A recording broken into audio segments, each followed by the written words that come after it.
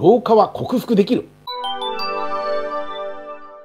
山さん先生が老いを感じる時ってどんな時ですか？最近はあんまり感じないけどもやっぱり40代を超えた時とかって四十肩と言いますけどやっぱ肩が上がらなくなってきたりとか徹夜まではいかないけど夜遅くまでお酒飲んでて次の日何も活動ができないみたいな状態ってなってくるんですよ。そういう時にあちょっと年取ったなと思いましたね40歳を超えてね。そういう体験をするとほとんどの人がすると思うんですけどいつまでも若くないんですね人間っていうのは。でそれはだから40歳を超えたりその感覚っていうのは50歳を超えるとさらにずしりとのしかかってきて最近ですとやっぱ視力の衰えというものをすごく感じますね。老眼というか小さい字が読めない。読めなくはないんだけど目が疲れると読めなくなってくるので今とか読書できないですね夜の時間帯は。午前中は目が疲れてないから結構読めるんですけど普段だとこういう夜の時間帯とかまったりとした感じで本とか読んだり小説とか読んだりもするわけですけど年取ってくると夜になると目が疲れちゃってあと太陽の光だとやっぱ明るいから見やすいんですけども夜の普通のこういう部屋の光だと見えないみたいなのが起こってくる。あと白内障っていうのはやっぱあって外に出るとすごい眩しいとかそういうことがありますね。なので私的には最近は視力の低下を持って老いというものをものすごく感じます。さてそこからが大事です。老いというものを感じた時にそのまま黙って何もしないとどんどん老けていくんです。どんどん老化していくんです。どんどんやれる能力とか体力っていうのは衰えてきます。しかしちゃんと整えていくと意外と元気です。なので私も40歳を超えていやなんか疲れやすいなとかいろんなことを感じるようになってやっぱり睡眠運動朝散歩といういうもの。まあ、睡眠は結構とってたんですけど運動とか朝散歩っていうのは40歳を超えてからですね始めましたね。定期的にしっかりとやるようになったのはやっぱり40歳を超えてからです。でそれをちゃんとやると体力もついてくるのでそんなに老化しないんですよ。そんなに衰えないんですよ。樺沢の写真とか見ていただければ分かるように40歳頃の方が今より老けて見えると思います。昔の写真とか。あとカバチャンネルの動画の昔のやつとかを見ていただければ分かりますけど2014年とか2015年だから今から8年ぐらい前の動画をたまたまこう見ることも皆様あると思思うんだけどどう見ても今より老けてますよね。今の方がおそらく若々しいと思います。肌ツヤもいいし表情も柔らかいし今の方が若々しいと思いますね。なのできちんと睡眠運動朝散歩して特に睡眠をきちんととるということと定期的に運動をする。運動というのは中強度以上の運動を45分以上することを週に3回するってことですけど成長ホルモンが出るわけですね。30分以上の有酸素運動で成長ホルモンがドカーンと出るわけですよ。だから成長ホルモンって何かっていうと若返りのホルモンです。ざっくり言うと。肌ツヤを良くするし新陳代謝を活発にするし細胞の入れ替えをするわけですね要するにね。だから成長ホルモンを出すということが老化を防ぐということです。成長ホルモンは今言いましたように30分以上の運動をすると出てきますね。これを定期的にやっていくと思った以上に老化しません。思った以上に逆に言うと若返ります。だからとにかく40歳を超えた皆様方は何がしかのやっぱり昔のように若い時のようにはいかないなってことをほぼ全員が思ってると思うんだけどその時に老化だからしょうがないというふうにほとんどの人は思うのかもしれないけど老化は対抗できます。それは生活習慣の改善です。それは具体的な睡眠運動朝散歩です。それによってきちんとやるとかなり元気になります。老化を予防するということでいうと一番は運動なんですね。これはね。汗を流すような運動というものをきちんと週2回3回できるのかっていうことが結構重要で世の中の多分8割ぐらいの人はできてないと思います。そうするとどんどんどんどん老化していきます。でどんどんどんどん動脈硬化とか高血圧とか糖尿病も進行していって病気になったりとかさらに調子が悪くなってということを繰り返していくわけですね。なので老化は防げる睡眠運動朝散歩などの生活習慣を整える。あとお酒の飲み過ぎとかタバコの吸い過ぎとかそういったことも制限していかなきゃいけない。あとストレスとというものも過剰なストレスっていうのも良くないのでそういったものを減らしていくとか私たちの生活を調整していくことで老化というものはかなり遅めることができるということは言えると思います。なので老いを感じる瞬間という話でしたけども老いを感じるだけではなくそれを防ぐ努力遅める努力ということもできますので是非、ね、私がいつも言ってるような体を整える方法っていうのを皆さんやっていただけると私も57歳ですけどさっき言った体力的な衰えはあるけど脳の働きでいうと人生で一番いいです今は。20代の頃の頭の働きと比べても今57歳の今の脳の働き今日もいろいろ本の直しとか本の原稿を書いたり午前中してましたけどもどう見ても20代の頃よりもはるかにいいですね。だから最近の脳科学研究でいうと昔の脳科学では年を取ると脳細胞はどんどん死んでいって脳というものは記憶力や集中力は年とともにどんどん衰えますよっていうのが昔の脳科学なんだけど最近の脳科学は年を取ってもきちんと生活習慣を整えてやるべきことをやっていると脳というものは老化しませんよと。65歳以上の人の20%ぐらいは大学生と同じ記憶力かもしくはそれ以上の記憶力力を持っているという研究があるんですけどもきちんと脳と体を整えることをやっておくと老化しないそんなに老化しないむしろ若い頃よりはるかに頭の活動が良くなるということが最近の研究で分かってるわけですから皆さんも老化しないように睡眠運動朝散歩その他生活習慣を整えていってほしいなと。年をとっても昔以上に元気で活発に活動することは論理上科学上可能でございますし私もかなり実践できていると思うんですけどもまたまだ至らない手も多いので実践中でございますが皆さんもぜひ体を整えながら老化というものを克服していってほしいと思います。